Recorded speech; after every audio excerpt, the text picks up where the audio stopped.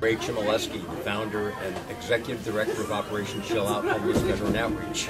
We're here, it's a Saturday, a cold Saturday morning, November 11, 2017, at Tramontin Harley Davidson in New Jersey, on a ride for veterans to honor their service and all the good that they provide for our freedoms in this country and throughout the world.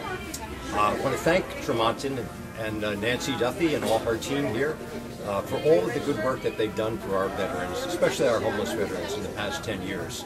I'm holding a backpack that some of her riders have prepared. Uh, every winter Operation Chill Out brings hundreds and hundreds and hundreds of backpacks throughout New Jersey, Pennsylvania, and Rhode Island to homeless veterans, men and women who are still on the street. Operation Chill Out is an all-volunteer outfit. We've been together for 18 years all volunteers, no one's on staff. Every contribution that we get goes directly to our services for our homeless veterans, men and women throughout New Jersey. Thank you for your kindness. Thank you for cooperating with Tramontin. And to everyone, to all of our veterans, a very, very happy Veterans Day.